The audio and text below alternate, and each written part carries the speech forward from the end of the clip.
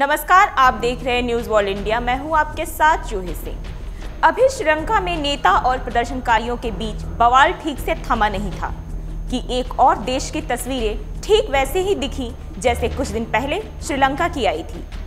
बुधवार को इराक की राजधानी बगदाद में हज़ारों प्रदर्शनकारी सुरक्षा के घेरे को तोड़कर संसद के भीतर घुस गए। ये प्रदर्शनकारी शिया मुस्लिम धार्मिक नेता मौलाना मुख्तदा अल सदर के समर्थक थे। अब सवाल ये उठता है कि आखिर इस प्रदर्शन के पीछे की वजह क्या है? क्यों बौखलाए प्रदर्शनकारियों ने किया संसद पर कब्जा? सबसे सुरक्षित इलाका होने पर भी क्यों हुआ प्रदर्शन का शिकार? आइए जानते हैं इन सवालों के जवाब। बुधवार को इराक की राजधानी बगदाद में हज़ारों प्रदर्शनकारी संसद के भीतर घुस गए और नारेबाजी करने लगे।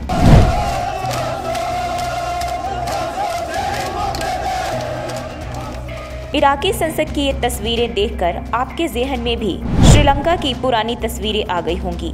जब इसी तरह वहाँ राष्ट्रपति भवन पर भी कब्जा कर लिया गया था। इन तस्वीरों में आप देख सकते हैं कि कई प्रदर्शनकारियों ने संसद के अंदर इराकी झंडा लहराते हुए नारेबाजी कर रहे हैं। कई प्रदर्शनकारी तो टेबल और कुर्सियों पर चढ़ गए, सेल्फी लेने लगे, गाना गाने लगे और डांस करने लगे। वहीं कुछ तो सोफे पर बैठकर सिगरेट के कश लगाते हुए भी दिखाई दिए।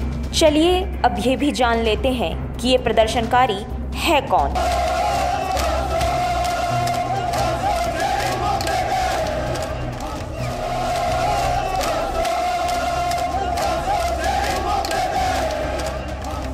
दरअसल ये प्रदर्शनकारी मोहम्मद अल सुदानी को प्रधानमंत्री उम्मीदवार के तौर पर नामांकन का विरोध कर रहे थे। इराक में प्रदर्शनकारियों के संसद में घुसने के पीछे की वजह वैसे तो कई सारी हैं, लेकिन इनमें सबसे बड़ी वजह ये है कि इराक में पिछले नौ महीनों से यहाँ ना तो कोई स्थायी प्रधानमंत्री है, ना कोई मंत्रिमंडल और ना ही कोई सरकार है। यानी लोकतंत्र के नाम पर सिर्फ़ तमाशा है। यही वजह है कि वहाँ राजनीतिक अराजकता की स्थिति बन गई है। यानी जिस तरह श्रीलंका में राजनीतिक संकट के बाद भीड़ ने संसद को बंधक बना लिया था, अब कुछ वैसी ही हालत इराक में बन चुकी है। आपको बता दें कि इराकी संसद बगदाद शहर के उस ग्रीन जोन क्षेत्र में मौजूद है, जिसे देश का सबसे सुरक्षित इलाका माना जाता है।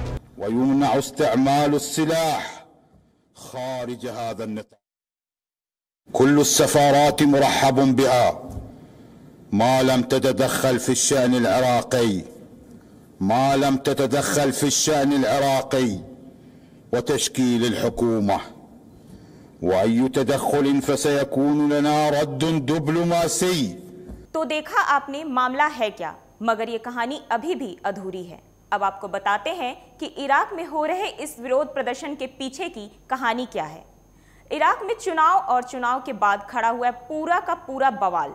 चुनाव कब हुआ? किसने जीता? फिर क्या हुआ? और इराक की संसद में कितनी सीटें हैं? चलिए, वो भी अब आपको बताते हैं अपनी इस रिपोर्ट में।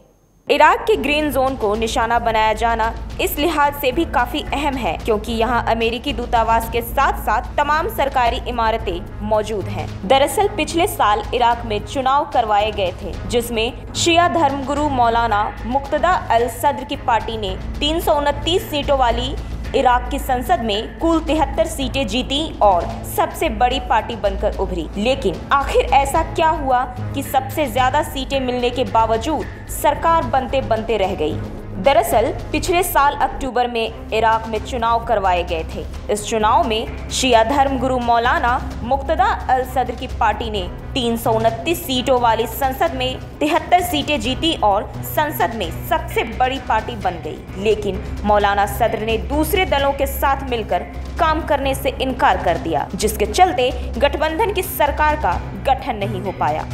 बहरहाल, अब देखना यह होगा कि इस प्रदर्शन को लेकर वहाँ की राजनीतिक दलों का अगला कदम क्या होगा और कब तक यह जारी रहेगा।